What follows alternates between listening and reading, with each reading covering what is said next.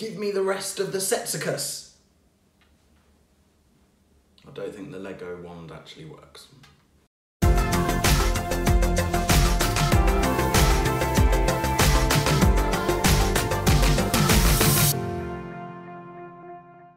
Hi guys, so today I've got the Harry Potter Herbology Classroom book set. So it's uh, out of four sets, you you get all four houses and it's a book and then it opens up into a classroom. When I saw it I thought it was really cool and this was the one I wanted to get first just because I like the Herbology, Herbology setup. I did order it when it came out on January the 1st because I was going to go into Lego store and just buy it from the store but due to lockdown all the shops are closed so I couldn't do that.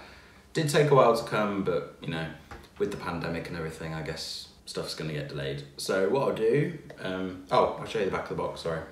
So on the back of the box, it shows you the opened book. So this is the Hufflepuff book, which is probably my like least favourite house. I know there are fans of all the houses, but I just kind of think Hufflepuff just me. I don't. I don't think it really gives you much. You know, Gryffindor, you've got all Harry and the Weasleys.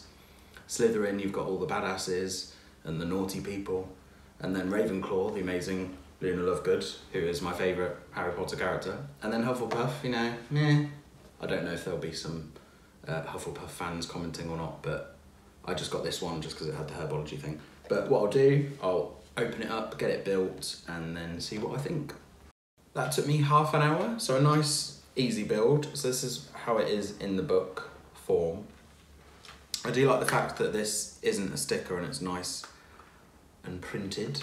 There's a sticker on this bit, that's not too bad, I'll let them off. Every Lego fan hates stickers, surely, just find it annoying. So it doesn't quite close. Probably should have been like a latch or something like that, it doesn't quite close, but it's not, you know, it's not really jarring. The, there are little spaces on the top where I've put the figures and the little mandrake accessory. I'm pretty sure that's where they do go because they don't fit inside this. So take the figures off. I'll talk about the figures in a bit. Take the little mandrake off as well. Then opens up. Oops. There's a little book accessory as well. Just shove that in because it doesn't really fit anywhere. So you take the little garden bit off. That's really nice. There's a couple of pumpkins, other little various plants in there. So that fits on the top. And then on the other side, that's where the little figures can go. Well, I think that's where they go. Then the little sink bit.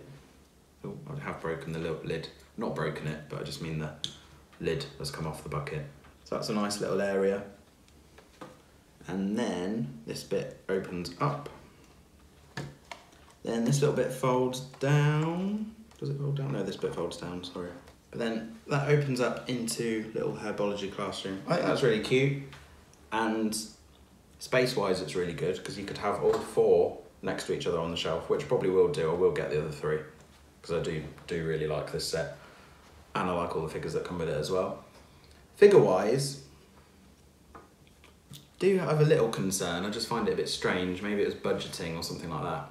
So Cedric Diggory and Neville Longbottom, forgot his name then, both have the same short little um, legs, but Cedric Diggory's are movable. So same colour, because they introduced that, I don't know when, but Lego introduced the smaller legs and they're movable.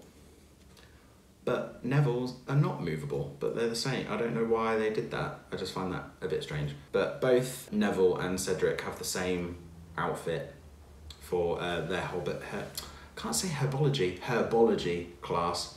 And then they have the little. I like the little accessory with the little earmuffs. That's cute. And both come with a wand, and Neville's come with some scissors. They both have alternate heads as well. So Cedric's looking a bit angry there. And then I think the alternate head on Neville, I might change that actually, it's a better head. To be fair, he's, he's squealing and stuff probably at the mandrake. Which there is one. I think it should have come with more mandrakes. Because that's that's a memorable scene when, and in the books as well, when Professor Sprout, who is here, gets all the, mandrakes all come out and they scream, don't they? And you have to have your headphones on your ears or you'll collapse or something. She has little headphones on already, does she have an alternate head? Yeah. So just kind of more of like a little smirk. So I do have the, I do have a comparison to the Series 2 Professor Sprout figure that came in the Lego minifigure series. And she's in a dress. And then, is it the same hat? It looks to be the same hat. So it's not actually that different, but I do like the fact that she comes with a mandrake. I mean, it's different enough, but it's not like the torso. Yeah, the torso is the same as the head. No, just got more like a worried expression on the Series 2 one. So, I mean, you know, you could use both. But yes, overall, I really like it. I think it's good value for money as well. I think it's fun, and I do like the fact that it can go back together easily.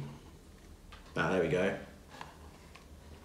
Goes back together easily enough. I just have to remember. I think it was that way. And then that was on the top. Oh, there you go. I just put the thing in the wrong way around. Figures on top. Put the mandrake on. Oops. And then, yeah, oh, I forgot to put the book in there. Just put the book in there. And that all slots together easily. Very easy for a kid as well. But obviously, I'm an adult geek, so I want this for my collection. But yes, definitely be getting the other ones. Really like it. Remember to like, comment, subscribe. Follow me on Instagram as well because I put daily geeky stuff. That's Geek Guy Prentis as well. And we'll see you next time. Bye.